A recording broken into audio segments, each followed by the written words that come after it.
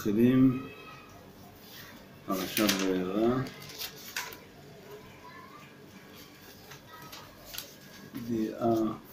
דיבור ב' או יאמר וירא אל... הלו?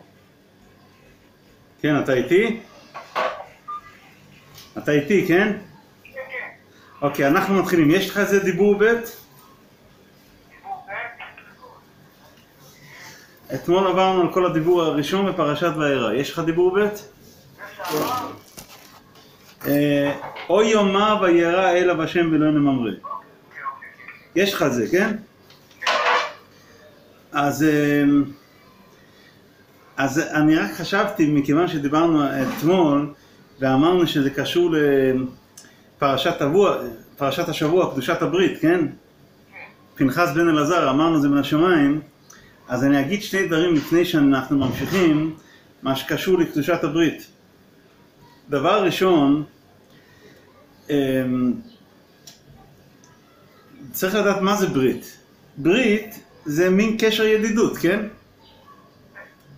זה ברית, פעם היה אפילו ככה שהיו לוקחים שני חברים שרצו לכרות ברית, למה, למה, למה קוראים לזה כריתת ברית?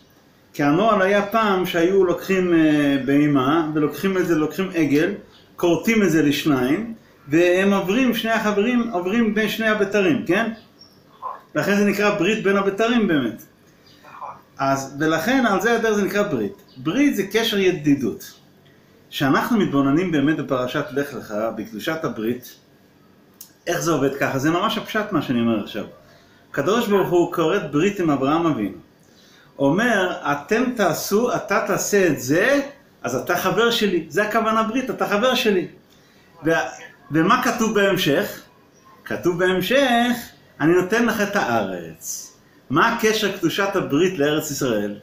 אז באמת אני אזכיר מה שאומרים בשם הרב צבי יהודה קוק, זיכרונו לברכה, שאמר לא לקרוא לארצות הברית ארצות הברית. אמר זה ברית זה בארץ ישראל. אמר לקרוא לזה אמריקה, עם רקע אמר, עם רקע, זה עם ריק מכל תוכן. כי זה לא ברית, ברית זה ארץ ישראל. הקדוש ברוך עשה ברית עם אברהם אבינו וככה העביר לו את הארץ. אז אנחנו רואים בתורה ממש בפשט שארץ ישראל קשור לקדושת הברית. עד כדי כך שהזוהר הקדוש מדבר על זה, שימח שמם הערבים, על זה שיש להם גם כן איזשהו קשר לברית מילה, אפילו שהם לא עושים בשלמות, כי הם לא עושים את הפריאה, נכון? אז אף על פי כן, אז נתנו להם לתקופה מסוימת את הארץ. זה ברוך השם שזה... מה? זה כבר עבר, זה היה בימי הטורקים, זה כבר עבר. עבר, אבל, אבל, אבל נתנו להם. עכשיו, אז אה, רואים שארץ ישראל זה קשור לקדושת הברית. אז נכון שלהם זה היה תקופתי, ופה צריך להדגיש עוד משהו. לא לחשוב שבאמת נתנו להם את זה, כי, כי מבואר בתורה וחז"ל ורש"י וספרים הקדושים ראשונים ואחרונים שהארץ מהרגע שנתנו את זה לאברהם אבינו עד סוף כל הדורות זה תמיד שייכת לעם ישראל. ומי, ומי שלוקח את זה מעם ישראל הוא גנב והוא ייתן דין וחשבון. אבל הכוונה מה שהזוהר אומר שנתנו להם את זה שנתנו להם רשות לגנוב אבל לא שזה באמת שייכת להם. הם ייתנו דין וחשבון על כל שנייה שהחזיקו בזה. ועל, ועל זה יש לי מלא ראיות מראשונים ואחרונים, מראשונים ואחרונים וחז"ל, שזה לא באמת שניתנה להם. אבל בכל מקרה רואים את הקשר של ארץ ישראל לקדושת הברית. ושאין להם את מצוות הפריאה, אז באמת זה לא שייכת אליהם, אבל... ואנחנו, כשאנחנו עושים את הפריאה, זאת אומרת מצוות מילה בשלמות, אז זה באמת שייכת לנו וניתנה לנו. אבל גם כן, זה לא מספיק. כמו שאנחנו אומרים קדושת הברית, צריך לשמור את הברית. ואז יש לנו קשר, אז אנחנו יכולים לשרוד בארץ ולא תקיע הארץ אתכם. אבל אם מחללים את הברית, אז השם ישמור ויציל. אז זה הקשר, אז מה העניין? כי ברית זה כמו שאנחנו אומרים, זה קשר ידידות, כן? אז מה אני אומר לך? אם אתה חבר שלי, אתה יכול לגור אצלי בבית. הקדוש ברוך אומר, אז עושה הברית מילה, זה הברית, זה הידידות, זה אומר שאתה חבר שלי והילד שלי ואתה יכול לגור, ואתה יכול לגור איתי בבית. אבל, אבל אם אין לך את הברית מילה, או שלא עשית ברית, או שאתה חס ושלום לא שומר את הברית, אתה לא קשור אליי.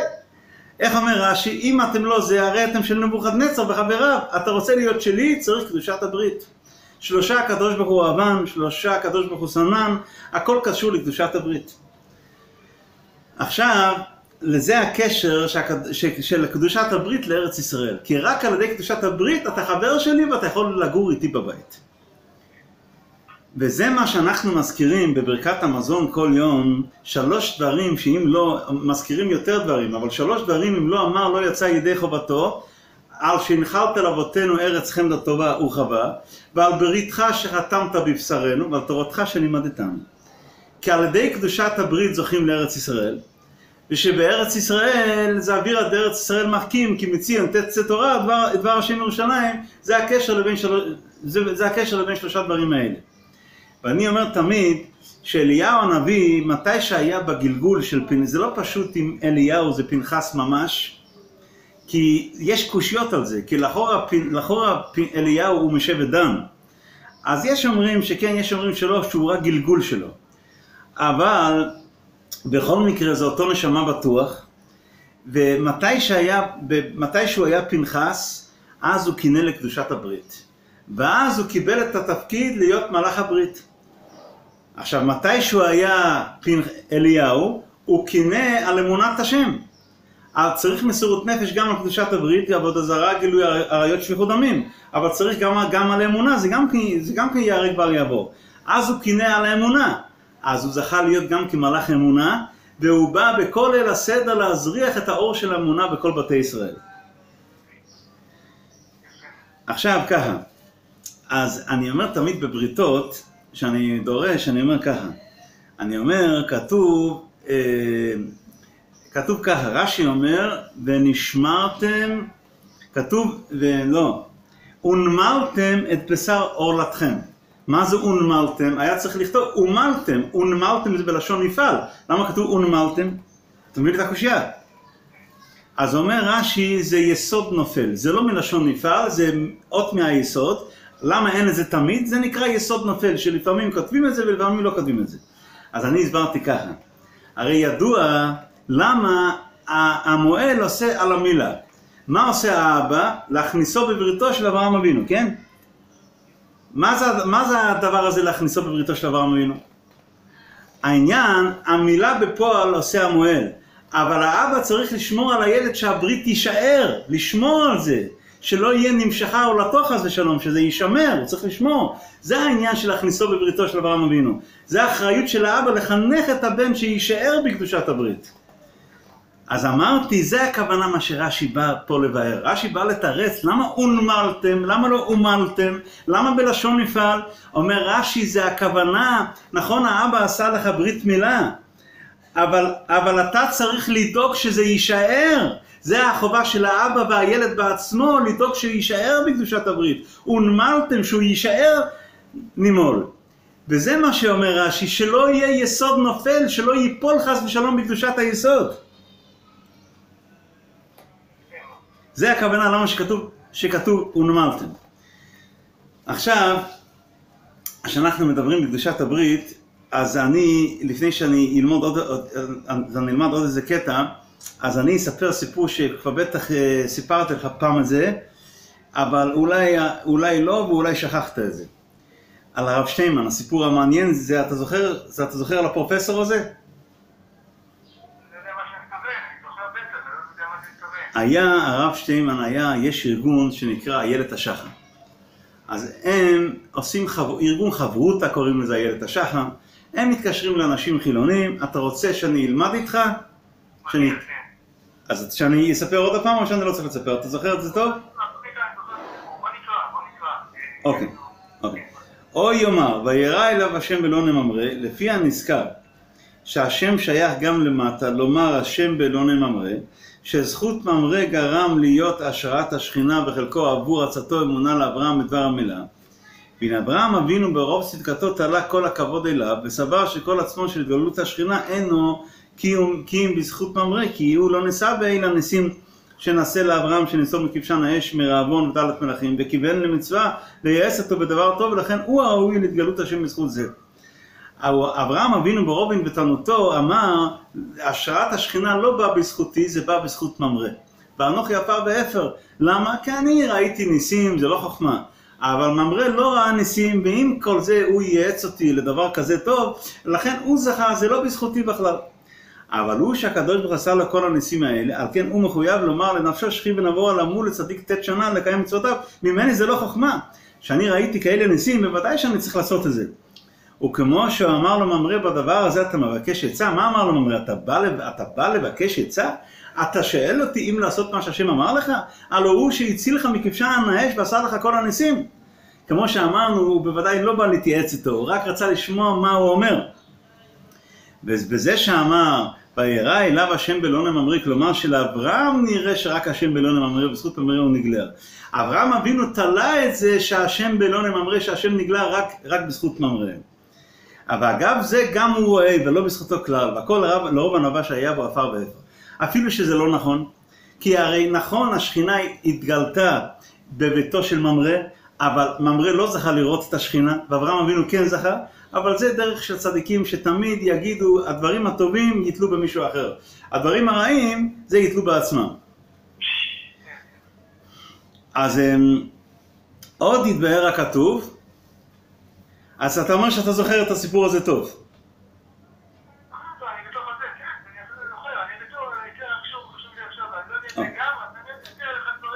אוקיי.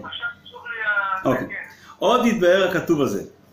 כי אה, נודע אשר כל בחינת הפעולות הנעשים בשמי השמיים הייחודים השלמים וכל בחינת הברכות והחסדים היורדים לכל העולמות כולם נעשים על ידי תרותא דלתתא בכוח אדם של הארץ אומר כל החסדים והישועות הכל מי שעושה את זה זה האדם הצדיק שעובד את השם ומקיים את המצוות הוא גורם לכל השפע כאשר הוא פועל ישועות בקרב הארץ בעבודת השם בתורה ומצוות להתחסד עם קונו ועם בריאתו אומר כאשר יהודי זה לא צריך להיות איזה בבא כל יהודי שלא עושה עבירות, כי ברגע שאתה עושה עבירות, עבירה מכבה מצווה, אז נכון, צריך גם לעשות מצוות, אבל אין כבר ערך למצווה כמו זה. למה, למה המצווה של הצדיק זה יותר חשוב? כי הוא לא עושה עבירות.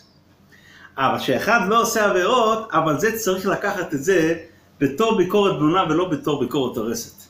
אני מסביר תמיד מה שכתוב ולרשע אמר אלוקים מה לך לספר חוקיי, זה לא בא בתור בתור ביקורת הורסת, שאם כבר עשית עבירות אתה כבר לא צריך לעשות מצוות. זה בא בתור, בתור ביקורת בונה, להגיד לך לפני החטא, אל תעשה שטויות, כי אז המצוות הרבה יותר חשובים. כי אחרת חס ושלום גם המצוות הולך לסטרה אחרא.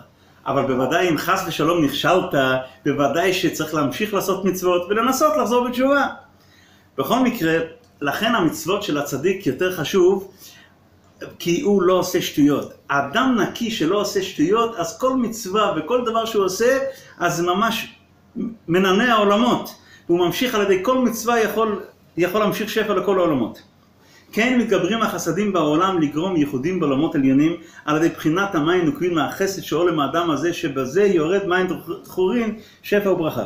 שאדם, כל יהודי צריך לקחת את זה לעצמו. כשאני עושה מצווה אז אני גורם ייחודים בעולמות עליונים, כי זה מים נוקבים, שעולה למעלה, ואחרי זה יורד מלמעלה מים דחורין, שפע וברכה לכל העולמות.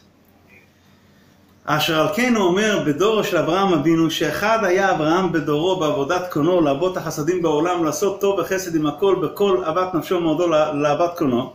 אז בזמנו אברהם אבינו היה היחיד, כמעט היחיד. היה שם ועבר ונוח וזה, אבל אחד היה אברהם, אומר הפסוק, שהוא הוריד את זה לעולם, את העניין, חינך את בני דורו לתורה ועבודת השם, אז הוא נקרא יחיד. הוא היה יחיד שהוא המשיך את כל השפע בעולם, עם החסד שהוא עשה, הוא המשיך את, שיהיה באמת בעולם חסד. שאתה עושה חסד, אתה ממשיך חסד. במידה שאדם מודד, מודדים לו. הנה כל פעולת החסדים שהיה אז בכל העולמות, הכל היה על ידי תרותא דאברהם שהתעורר בחסד לעיר דרורה ימינה שהתגברו פעולת הרחמים. באמת בתקופה של אברהם אבינו היה בעולם טוב. למה? כי אברהם אבינו עם המצוות שלו המשיך שפע לעולם ולא היה חסר בעולם כלום.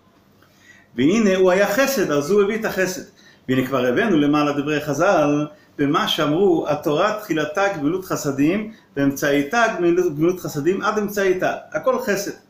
וירא אליו השם שהוא ביקור חולים, הנמשך בגמילות חסדים. אז הכל זה חסדים. ואכן, כי נכסת הזה גופה שעשה הקדוש ברוך הוא אברהם לבקר בכל יום, הכל מכונה על שם אברהם, כי הוא גרם ברוב חסדו במה שפעל ועשה בארץ הזאת שהיא הקים משמי השמיים, עד שנגלה עליו מלך מלכי המלכים הקדוש ברוך הוא לגמור לו עמו חסד. למה הוא זכה שהקדוש ברוך הוא בכבודו ובעצמו בא לגמור איתו חסד ולבקר אותו, לעשות איתו ביקור חולים?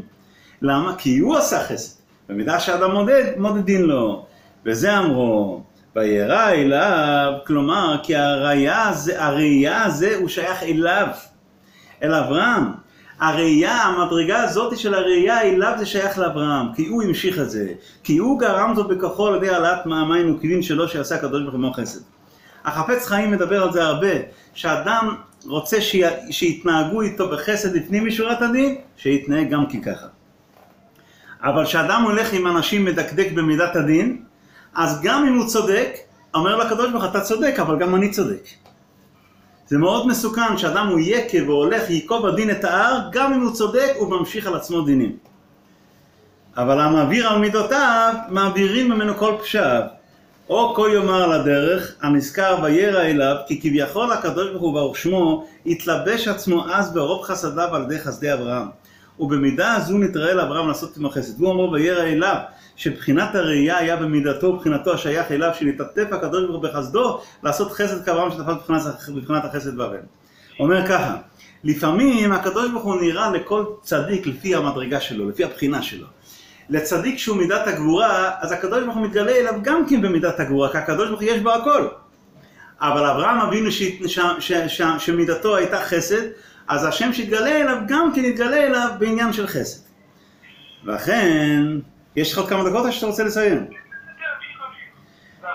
ואכן כי נודע אומרם ז"ל, פיתחו לי כחודה של מח"ט. וגם כאן אני אגיד לך משהו מעניין של הקדושת לוי. שזה קצת קשור למה שאמר פה הרבה ממחאים שהוא היה יחיד, שאברהם אבינו היה יחיד. הוא אומר, יש שם קושייה גדולה, אה, יש חז"ל שאומרים שעקידת יצחק היה בפסח, יש אומרים שזה היה בכיפור. אז איך אפשר ליישר הדורים ולהגיד שאלה ואלה דיו אלוקים חיים? זה קצת קושייה מה שהוא אומר, אבל הרעיון זה רעיון יפה. אומר ככה, אומר, הרי באמת כל החגים זה בחינות. ראש השנה ויום כיפור זה פחד השם, סוכות זה ככה, ופסח זה חסד, ושבועות זה זה, כל, כל חג זה בחינה אחרת. יש, יש בחינות של יראת שמיים, בחינות של אהבה, בחינות של תפארת. אבל הוא אומר, הצדיק יכול להאיר את המידה באמצע השנה גם כן, ואז גם באמצע השנה באיזה יום חול פתאום נהיה אצלו בחינה של פסח, בחינה של שבועות וסוכות וכולי. הוא אומר לא רק זה, הצדיקים הגדולים יכולים לעורר באותו יום שני מידות, אז באותו יום זה גם כן פסח וגם סוכות וכולי. אבל הוא אומר, זה הכל בבחינות, אבל לא בעולם המעשה שיהיה חייב לאכול מצות ולצום ולתקוע בשופר. למה? הוא אומר, זה לא, זה לא, כדי שייכנס בעולם המעשה, צריך שכל עם ישראל יעשה את זה. הרי החגים אנחנו עושים, השבת השם עושה, החגים אנחנו עושים, כן? אז צריך שכל עם ישראל, זה לא מספיק הרב מרוז'ין והרב ברדיצ'ל, צריך, צריך שכל עם ישראל. הוא אומר, לי יצויר באמת, אתם, אל תקרא אותם אלא אתם, קידוש החודש, עם ישראל עושה. שעם ישראל יחליט באמצע השנה, זה בסדר, אין בעיה. אבל צריך כל עם ישראל. אבל הוא אומר, אז בזמנו של אברהם אבינו, היה יהודי אחד, אברהם אבינו, אז הוא כל עם ישראל. אז הוא יכול גם באמצע השנה לעשות פסח וכיפור, וגם באותו יום פסח וכיפור ביחד. אבל קצת צריך להבין, כי איך אפשר גם לצום וגם לאכול מצה, זה צריך להבין. לתקוע בשופר ולאכול מצה זה בסדר, אבל לצום ולאכול מצה זה לא הבנתי.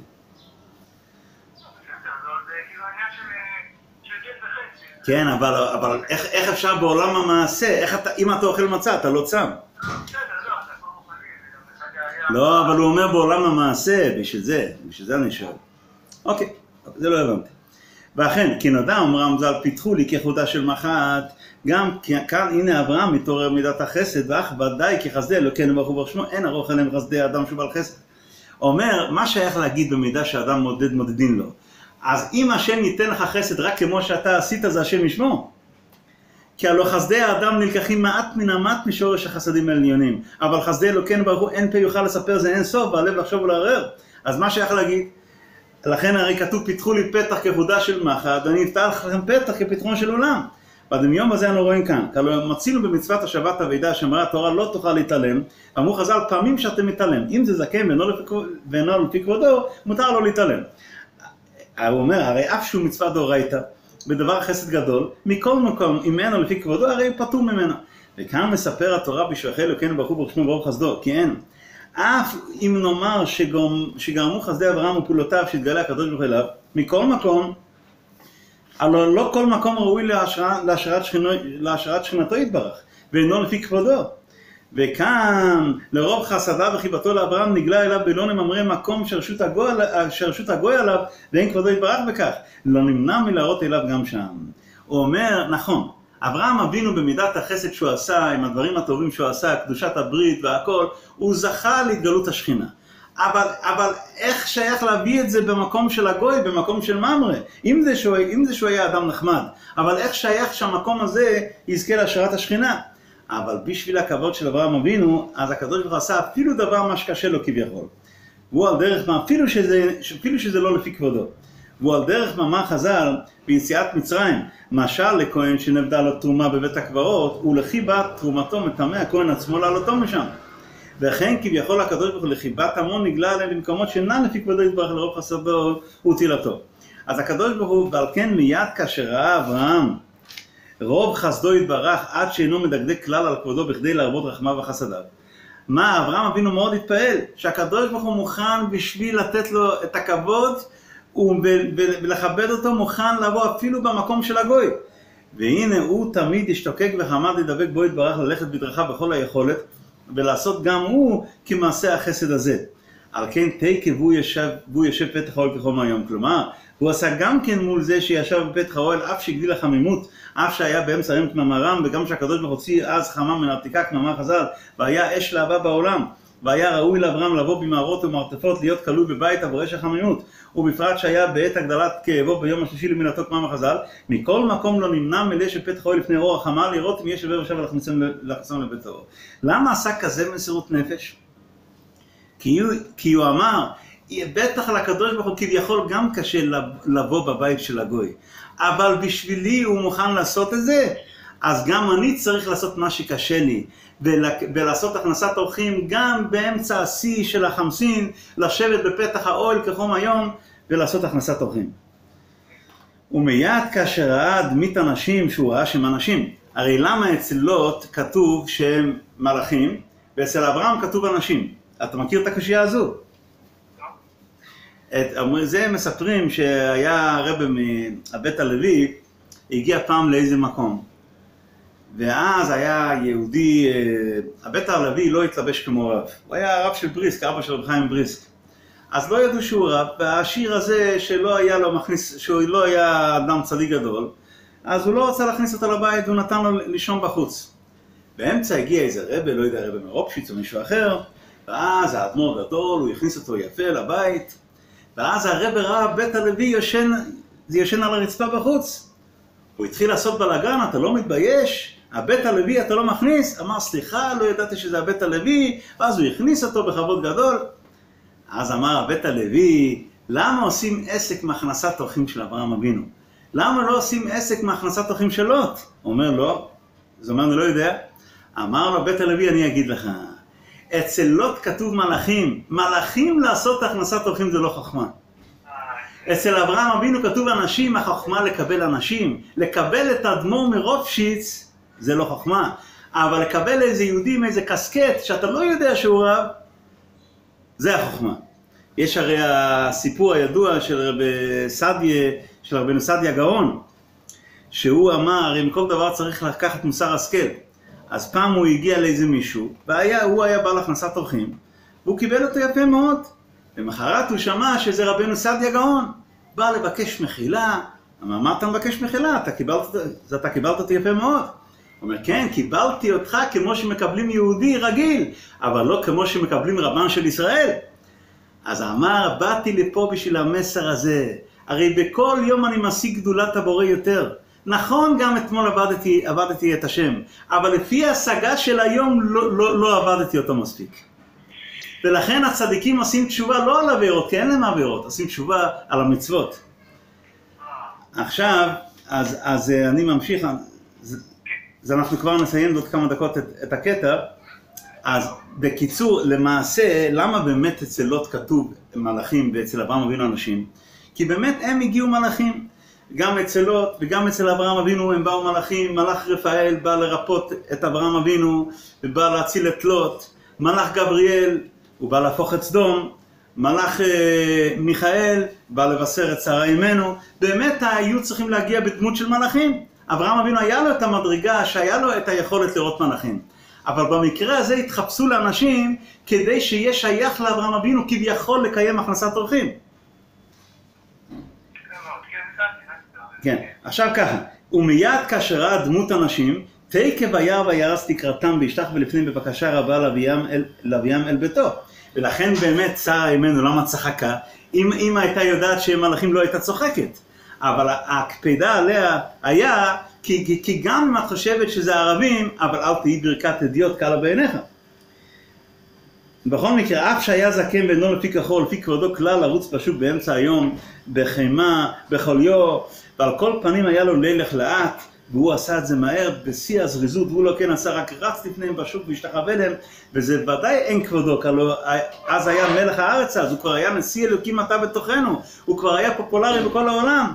ועם כל זה הוא עושה לפנים משורת הדין, הוא לא חייב לעשות את זה. ואז כשאתה עושה לפנים משורת הדין, אתה גם מעורר שהשם מתנהג איתך גם כן לפנים משורת הדין. עכשיו, אז, אמ, ואז כמאמר חז"ל, ואיך מלך ישתחווה לעבדו בכדי לגמול חסד איתו, ואכן כי כל זה היה עבור איך הוא הגיע לדרגה הזו, כי הוא התבונן, הרי השם עושה מה שהוא חייב, השם גם עושה מה שהוא לא חייב. הוא, זה גם, ואכן כי כל זה היה עבור אותו חסדי הבורא יתברך שנגלה אליו ברוב חסדו, ברוב חסדיו ובמקום שאינו לפי כבודו, אז אמר, אמר גם אני אלך במידותיו. ונזדרז להלוך במידותיו, יתברך לעשות חסד יותר מכחו כבודו, מה שלא מצינו שעשה כן עד דעתה. ועל זה אמר ביער השני שבמקרא, כי תחילה ראה ג' אנשים, ואחר כך וירא וירא וירץ, למה שראה בחסדי הבורא יתברך שאין גבול להם, כלומר עד פה תבוא, אז אמר גם אני אעשה לפנים משורת הדין, ועל כן תקה וירס תקראתם, זה אומר רמז"ל וירא בשכינה, שהיער, זה הביער השני, הכתב שראה את השכינה, הכוונה שראה חסדי שכינתו יתברך לגלות אליו כביכול בבית הקברות לחיבת תרומתו, כמו שהכהן הולך בבית הקברות ומטמא, את עצמו בשביל להציל את התרומה שלו. כן, הקדוש ברוך הוא מגיע לבית הקברות, הקדוש ברוך הוא מגיע אפילו לבלעם הרשע, לזבל, הכל, ומגיע למצרים, מקום, בכל המקומות הגרועים, להציל את עם ישראל. ועל כן וירץ, וממנו ירא כל אדם, כאילו התחיל כלל כל אדם לעשות בחינת החסד. שהאדם יגיד אני כבר עושה חסד מספיק, אתה לא התחלת לעשות חסד. תראה אברהם אבינו בגיל 99, במצב רפואי קשה, שהוא היה השלישי למילה, והוא היה מלך העולם, נשיא אלוקים אתה בתוכנו, והוא רץ החוצה לאנשים פשוטים שנראים כמו אוהבים, ומשתחווה עליהם. אז אתה עשית דברים כאלה? אז אנחנו לא התחלנו לעשות חסד בכלל. כזקן בן צדיק ט' שנים ביום שלישי למילתו, הוא מלך הארץ, זה אומר מלך הארץ, ירוץ לקראת אורחים בשוק בעת הגדרת החמה בראש כל אדם ולהשתחוות לפניהם ולהתחנן לפניהם שילכו לאכול אצלו והוא סבר שהערבים הם, זה, ולא שידע שהם מלאכים, הוא חשב, הוא חשב בכלל שהם ערבים, כמאמר חז"ל לא נדמו לו אלא לערביים, וגם בבראשית רבה אמרו, אחד נדמה לו בדמות צדקי, ואחד, ואחד, ואחד בדמות הוא שמות מקומות או שמות בעלי מלאכות, כמו שאיתה מפרשים שם, אז לכן שאף אחד לא יגיד אני כבר עשיתי חסד מספיק, אתה לא התחלת לעשות חסד בכלל. השם יעזור. אני טס, לא, היום החתונה של אח שלי, ומחר אני טס בעזרת השם. אז אם אתה רוצה מחר בצהריים, זה עוד גם שייך. מה אתה, אוקיי. אמן, כן. אז השם יעזור, השם יעזור שנזכה, איך אומרים? אומרים מתי אה, יגיעו מסעי למעשה אבותיי, כן? אומרים מה זה יגיעו? אנחנו יכולים להגיע למעשה אבותיי? שיהיה קצת נגיעה משהו. שיהיה קצת נגיעה. זה קצת, קצת, אה, זה קצת ללמוד בזה, לעשות חסד ולדעת במצב כזה שצריך הרבה רחמי שמיים, אבל כשאנחנו עושים רחמים וחסדים לפנים משורת הדין ועוזרים אחד לשני, אז השם עושה לנו גם כחסדים לפנים משורת הדין. השם יעזור שהשם יתנהג איתנו במידת החסד ובמידת הרחמים, ונזכה לכל הישועות. אמן. נזכה, אמן, אמן, אמן, אמן, אמן, אמן. ונזכה לכל הישועות. מה? אמן, אמן, אמן, אמן, אמן. כן, כן, כן, כן, כן, כן. אז אני אגיד, אני אגיד לך מתי שאני אהיה, מה? אישה, זה כבר יהיה חודש אב, אחר כך אלול, אישה גדול. מה, הכל רץ, הכל, הכל רץ. תגיד מה, ו- אה, עוד פעם? לא. אני יודע מה יהיה, בינתיים הם, בינתיים הם משתגעים מיום ליום, הם, הם, הם, הם משתגעים יותר ויותר. אבל יש יש- יש אה, טיסות, נכון? יש טיסות, לא, אל על, לא, זה בדיוק לא זה, אבל, אבל יש. טוב, אז באמת שיפרצו כל כן, אז. נהיה בקשר, נהיה בקשר, השם יעזור שנזכה לכל הישועות. השם, תודה רבה, תודה רבה, כל טוב. כן, כל טוב.